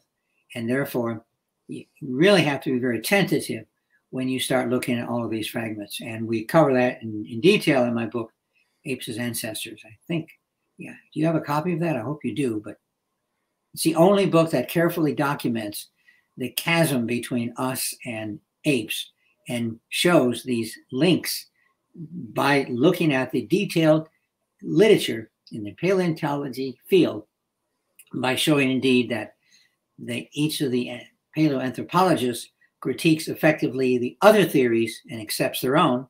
The other paleontologist critiques my theory and accepts his own. And so we criticize each other and in the book, basically, what we use is the criticism of each other and found, in essence, all of them fall dynamically short of what you expect to find in a, in a valid missing link, a valid transition between us and apes. And so, therefore, they're problematic. Now, they believe evolution occurred. Therefore, yeah, I, am aware of the problems in your missing link, but mine is pretty good. Mine, I feel mine is valid. Yours, yours isn't, isn't for right. good reasons but mine I feel is pretty good. It's better than yours. And then you'll respond, well, yeah, I've got some problems with your links, number of problems, but, but mine as a whole is better than yours. And so therefore they're condemning each other or criticizing each other on the basis of faults, which we basically concluded they all are problematic. And there is no good example of a transitional form. But they would say, but I believe in evolution, therefore there must be there. This must be a transitional form. It has to be out there. And therefore, mine's the best example. And therefore, I believe mine is is a valid example of a transitional form because I believe in evolution. So therefore, the transitional links they must be out there, and we're just trying to find them. But of course, we're saying that well, they may not be out there, and therefore, if they're not out there, we conclude that indeed they're not out there, and uh, therefore, it's easy for us to reject all the examples that they use. But again, if you believe in human evolution, well, there must be there must be links in spite right. of in spite of the problems. They're going into the field of paleoanthropology, assuming that evolution is true, right. assuming that humans have evolved from ape-like ancestors. And so basically what you've shown in your book, correct, correct me if I'm wrong, is that the field is contested. We have a lot of in-house debate, a lot of in-house competition, where some paleo uh, anthropologists like Lee Berger um, will look to one example and say this is the perfect transitional form, but then other paleoanthropologists will disagree and say no, this is the best example. And so each find on its own is contested essentially. Right, and that's what we conclude and because the whole field is so fragmented as you pointed out jerry wouldn't we require to make any real firm confident conclusion on some of these let's say australopith types like uh, lucy or africanus or anamensis and all these different um, examples wouldn't we need a large sample size which we don't have we have a lot of fragments we have a lot of isolated finds isn't that right oh yeah and that's but of course again they believe indeed that we evolved. Therefore, there has to be evidence out there. Mm. And my evidence, I think it's pretty good. It's not perfect, and yeah, you've got some valid points against it. But on the other hand, it's it's it's pretty good evidence.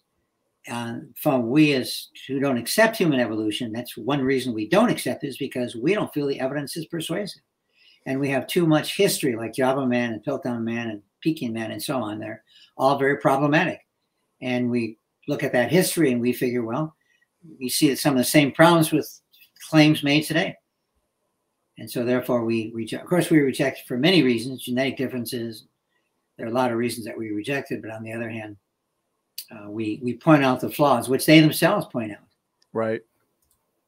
You know, and I've even had correspondence with at least one paleoanthropologist who's a secular, that did not not a young Earth creationist, and it specifically had to do with Australopithecus sediba, who a lot of evolutionists like Lee Berger say is this perfect transitional form or mosaic form. And at least two that I know of in the field have admitted that no, this isn't even a real species. It's artificial. It's the accidental mixture of human bones and ape bones. And there's actually there's at least one significant paper by Ella Been and Yoel, Yoel Rak that says uh, Sediba is not real. You got some bones here that are Homo, some here that that are ape.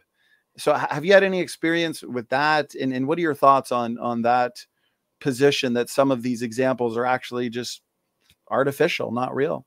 Oh, that's pretty common. And unfortunately, I guess unfortunately, in the field of paleoanthropology, there's a lot of bad blood.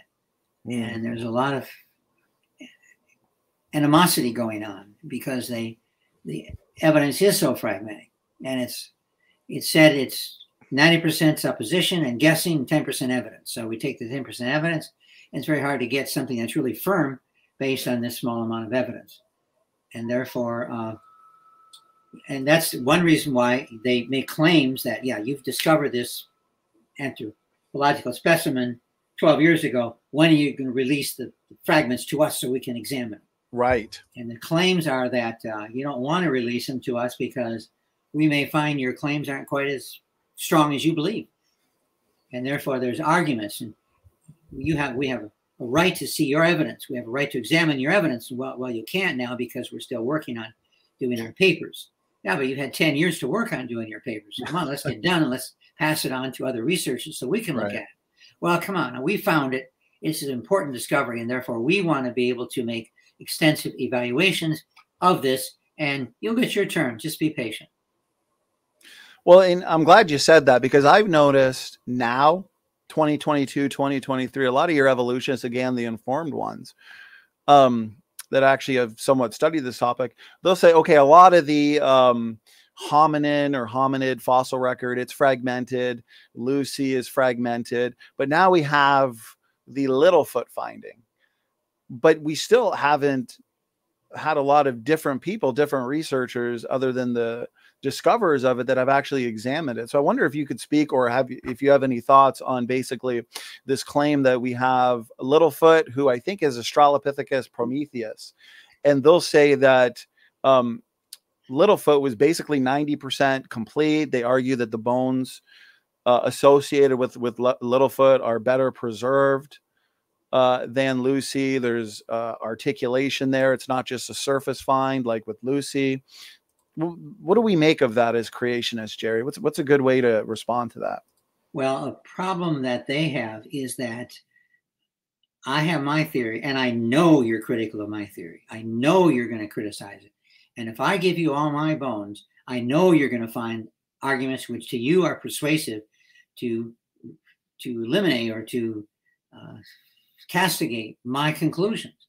And therefore, I'm not anxious to, you know, to give it to you. At least I want to be able to keep my theory so I get more grants and I get more money from National Geographic and I can do more research. And then with more research, I may bolster my bolster my conclusions. And therefore, I can see they have good reasons not to give it to their enemies or their critics. But on the other hand, I can see good reason the critics and their enemies want to evaluate the bones. And therefore, sometimes all they get is casts. And they say, well, the casts are not, they're not the original bones. Right. And they don't say the original thing. So you can see the the paleontological wars are real and you can I can understand their sides, their position. And uh, I forget her name, but she wrote a book, Morell, I think her name is. Mm. She hmm. wrote a book basically on the paleontological wars. And she talked about right.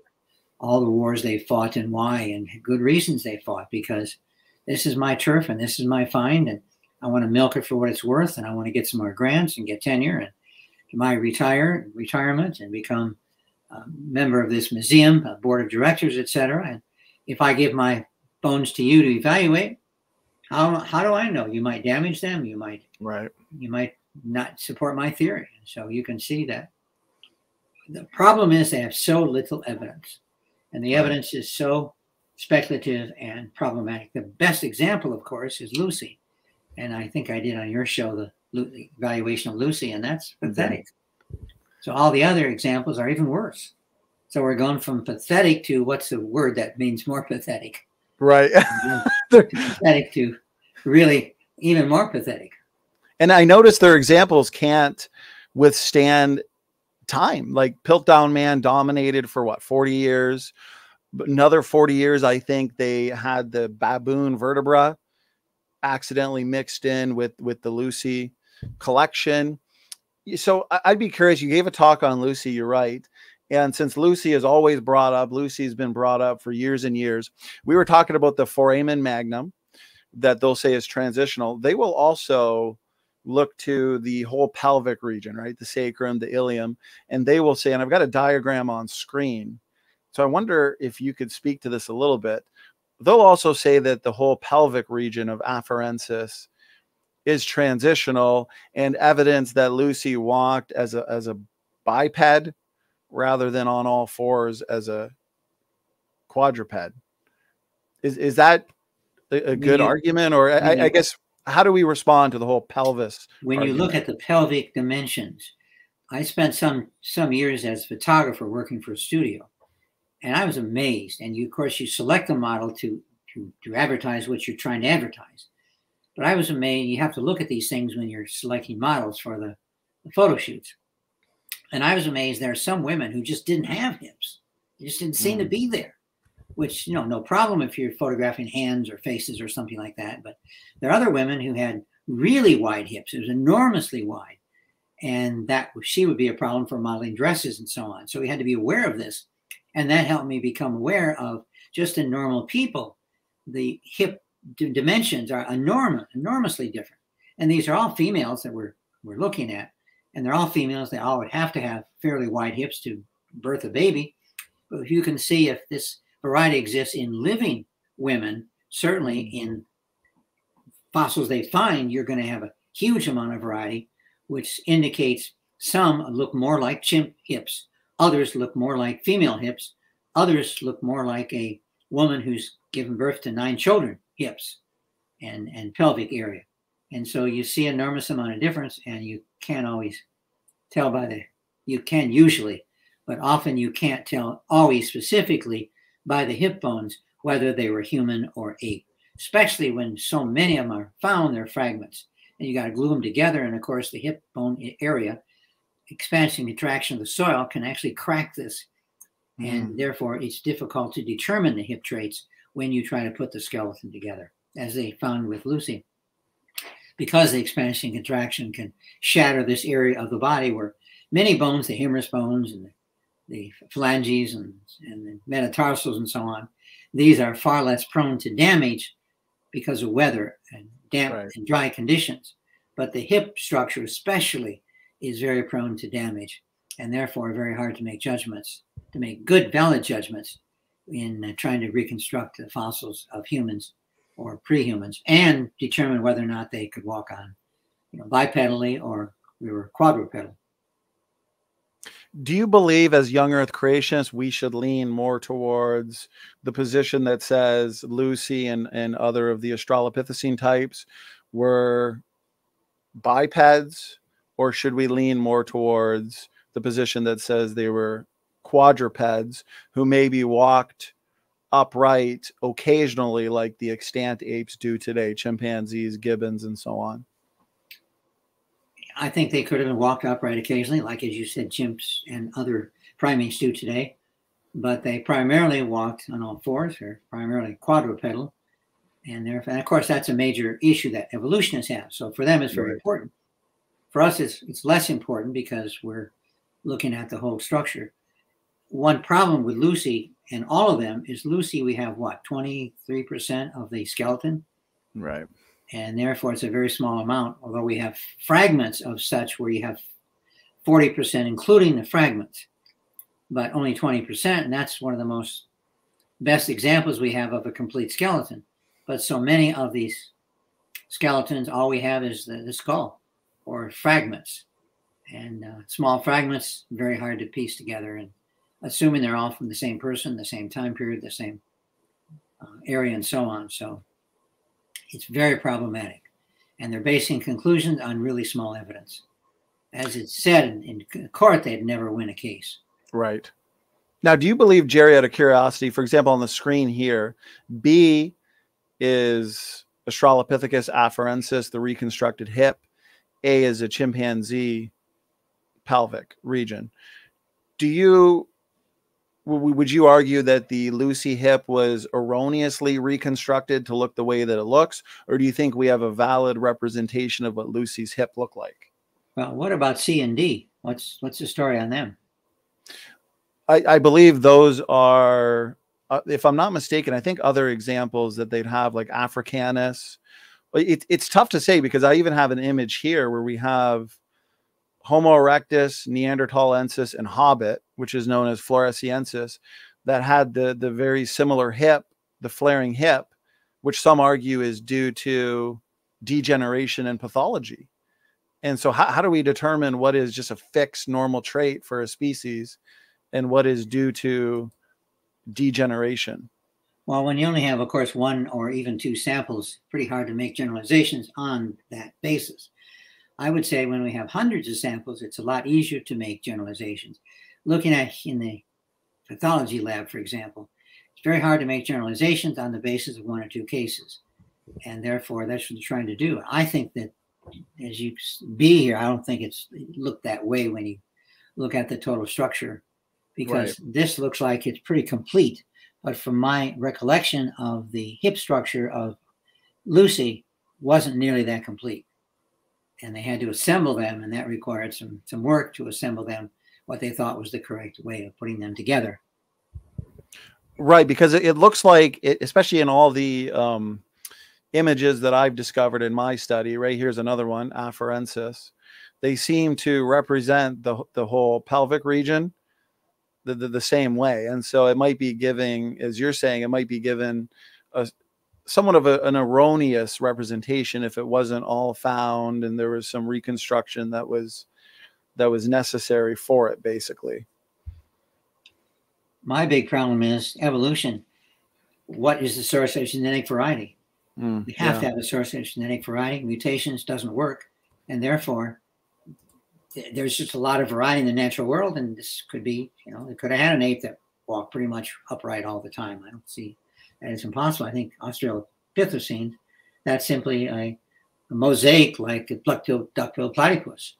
So Australopithecine has been argued about for years by evolution and creationists, but I think it's just a unique animal that had traits similar to several other animals, like duck-billed platypus has traits similar to other animals. And so there's what, 20, 18, I think, or 17 different Australopithecines now, uh, discoveries. And so just a unique animal. It's not a transitional form, as duck-billed platypus is not a transitional form. It's just a, a very unique animal, and I don't see any problem with that. We have lots of unique animals, and it's just another example. So well said. Well said, Jerry. A lot of variety, especially in the pre-flood world, the media post-flood world. As we start wrapping up, uh, time always goes by so quickly with you. I appreciate all the time you give us. You're a great blessing, uh, Dr. Bergman. A fan favorite, I'll say. We've had a very engaged live audience the entire time.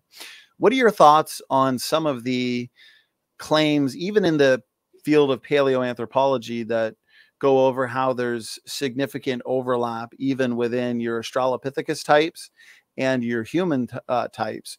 And so some of these isolated findings, like I know a, a knee uh, bone that was associated with Lucy, may actually truly be a, a, human bone that's been misclassified as, let's say, a Lucy bone. Yeah, that's quite possible. I, again, uh, my whole orientation is, is we need evidence of a mechanism that produces evolution. When we have that, then we can be in a better position to argue whether or not these missing links are indeed links and, and what they are. And uh, it's they, they Darwin had a hard time trying to figure out the source of genetic variety. He couldn't figure it out. He finally came up with sixth edition of the Origin book. He came up, of course, with Lamarckian biology, as scientists did for many years after him. So once they realized that's not true, they threw that out. Then, of course, mutations came along and they latched on that for a few years. But now we know that's not the source. So what is the source? So you need to have a source of the variation to argue that this variation is evidence of a transitional form. And of course, we don't have that. And so uh, we can't be afraid of concluding, well, there might be some uh, humans that walked on all fours walked upright as well. It's possible. I don't see evidence for that, but that's that's one possibility. And they have no explanation, as you put it, uh, Dr. Bergman, for the variation that we would say a lot of the variations front loaded it's designed but they want to say the variation was built up over time in the genome that was manifested obviously in the phenotype through deleterious mutations but as you've shown in in your fantastic presentation uh, jerry that simply is not the case it can't be the case and so again uh, great program i always appreciate the couple hours that we get to spend together uh, Dr. Bergman. I could talk about these topics with you all day. Your dog has been very patient. So yeah, uh, we'll, we'll, we'll wrap it up here, but I'd like to give you the opportunity for some final thoughts, final words, if you had them. And again, uh, Jerry, it's, it's always a pleasure to have you on.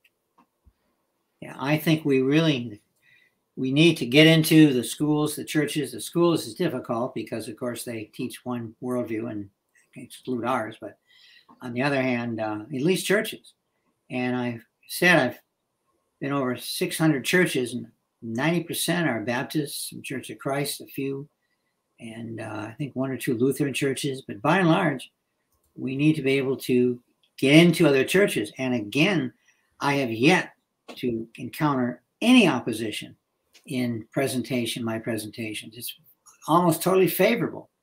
And the most common argument is is yeah oh, all the science i get lost you just that's why i did this last powerpoint that i did on this show is because i'm trying to get a powerpoint that doesn't lose anybody that they can right. understand my points without going through a lot of information and details and so therefore i'm trying to get into more and more churches fortunately i get in about two a month and uh, it's hard to get into too many because i've got to spend time writing and i have to spend a certain amount of time doing my writing work but on the other hand I need to get into more churches and uh, do my presentations and uh, get some feedback. I think the only way we're going to change society is through the churches. And for unfortunately, the churches are on the side of evolution by and large. And this I see as tragic. I'm a background is Methodist, and just last week we voted to disaffiliate from the United Methodist denomination and go on our own. And many other churches are doing that as well. And the whole problem is they've lost the acceptance of the infallibility of the Bible because of the acceptance of evolution. And the whole book I wrote on this, on the Methodist Church, basically shows that once you accept evolution, the whole edifice of Christianity falls. And many try to retain part of it. But on the other hand, it becomes difficult. Many, many realize it's difficult. And that's why you have so many that leave the churches. And that's why you have attendance now. The churches is less than half the population mm. because they just, that's, that's the link pin that basically destroys Christianity. And so now that's my concern is the science. But on the other hand, I realize a concern of many people is the effect on the church. But my concern is the effect on science. And these evolutionary ideas have caused enormous amount of harm in society. In fact, I'm doing a book now which I talk about how important evolution was in the Holocaust. Evolution was not only important, but it was central. And I point out, given a choice of winning the war, World War II, or killing the Jews, they clearly made the choice killing the Jews is more important. So we may lose the war, but at least we have got rid of the Jews, and they made it very clear as to why. The Jews are an inferior race, the Germans are the higher evolved race, the Jews and the Slavics and so many other groups, the Poles and Chinese and Japanese and so on, are all part of an inferior race, and therefore, to help mankind, we've got to eliminate all these inferior races, which was three quarters of the world's population. So uh, they made this very clear. Uh, a lot of books that document indeed why uh, killing the, the Jews and, and Slavics and other groups was more important than winning the war. Given a choice, they chose lose the war and kill more Jews. And uh, that turned out to be tragic. And that's why they invaded Russia and Ukraine and Poland because there's a lot of Jews there.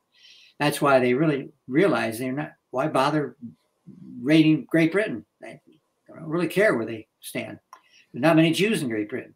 So they focused their energy on the East, primarily because that's where the large amount of Jews were, and gave up basically just bombed Britain a few times and thought, hey, we're wasting our time here. There are not many Jews here, so what's the point? And so they moved on to, of course, Poland and, and Poland and Slavics, Yugoslavia, and so on, uh, primarily, uh, primarily Russia and Poland. And so tragically, they and that's when they began to lose the war. They were doing pretty well until they invaded Poland. Fact, they're doing very well until they invaded, invaded Poland. Historians say they should have stopped. Stopped with they had most of Europe was under German control. They had basically a united Europe run by Germany. Just stop. The big problem was invaded Poland, then Russia, and then they lost everything. And they could have been the most powerful, unequivocally nation in Europe if they just they took over Europe and stopped. But no, they didn't stop because they had to they had to get the Jews, and most of the Jews, many were, I majority at least in Europe, were in in Poland and Russia, and Latvia and Estonia and the other countries. So that's why they they lost everything for that one goal. So I wish Hitler's goal was to conquer the earth, and that's all. but that wasn't his goal. His more important was to get rid of inferior races. And he made that very clear, and others, uh, historians have made that very clear how important that was.